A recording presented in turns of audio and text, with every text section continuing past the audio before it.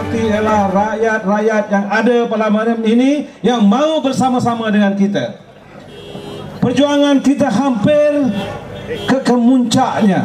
Lima hari bulan lima adalah tarikh untuk kita melakukan perubahan.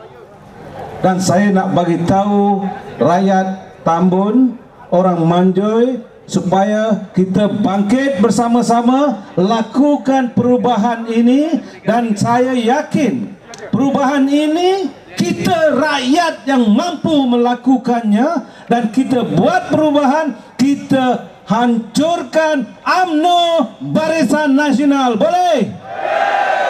Ini kita lakukan. Kita tidak tentang kezaliman.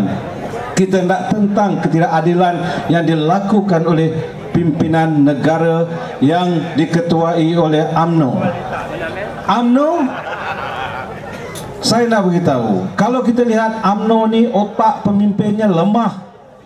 Ha? kita buat manifesto dia tiru. Dia tak ada cerita lain dia cerita dia selalu buat cerita seks tuduh sana tuduh sini buat fitnah di merata-rata. Dalam akhbar cerita fitnah dalam TV cerita fitnah. Ini adalah satu kelemahan otak pemimpin AMNO pimpinan Barisan Nasional yang menerajui negara ketika ini.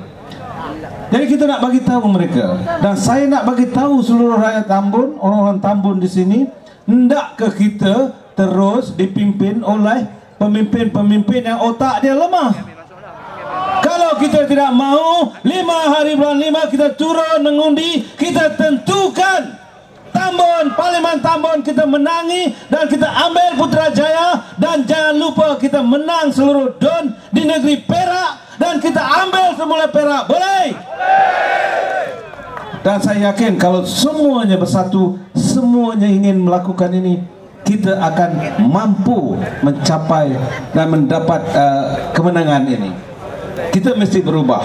Masanya tidak banyak. Masanya inilah ada mas, adalah masa yang terbaik. Kita nak bagi tahu kepimpinan di negeri Perak, kita nak tahu beritahu kepimpinan di negeri Perak yang ada sekarang ini, mereka telah diberi peluang untuk mengendalikan negeri Perak. Tetapi apa yang telah mereka lakukan? Banyak perkara mereka tidak selesaikan. Isu tanah tidak diselesaikan, isu rakyat tidak diselesaikan.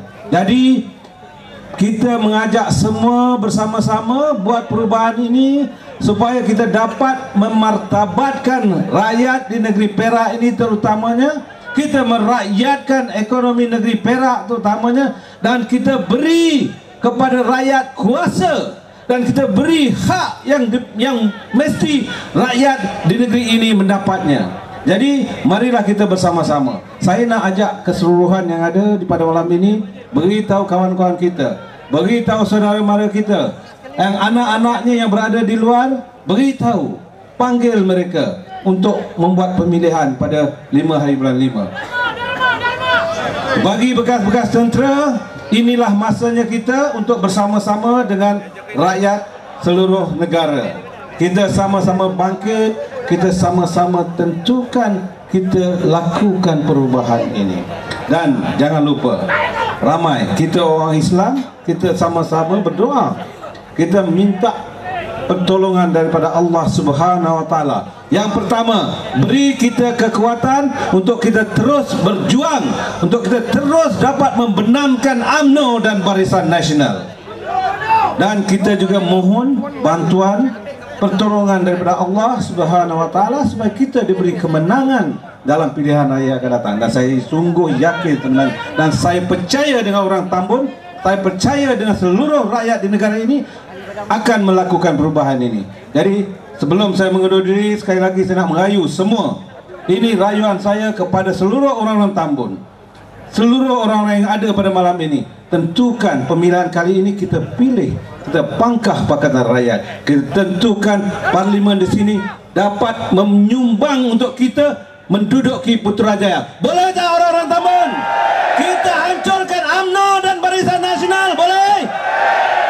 Allah Dengan itu Saya sudahi dengan wabillahi taufik wal hidayah. Assalamualaikum warahmatullahi wabarakatuh. Reformasi Reformasi! Reformasi! Reformasi, Reformasi.